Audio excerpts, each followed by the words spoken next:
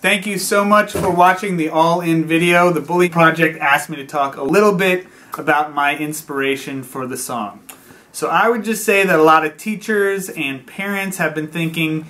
how do we talk to our kids about bullying um, in a time in uh, history when it seems like the adults in our country um, are acting kind of like kids on the playground? Uh, how do we talk to and teach our kids about compassion and kindness and tolerance and unity at a time when there have been so many issues in the uh, public, you know, in our national conversation that have been characterized by a lot of mean-spiritedness and divisiveness. So All In is kind of like my musical answer to that question and really trying to get kids to focus back on um, the things that we share in common and also the idea that uh, the things that make us different are also the things that make us special and the things that we can really learn to appreciate about each other and the way that we can really learn from one another.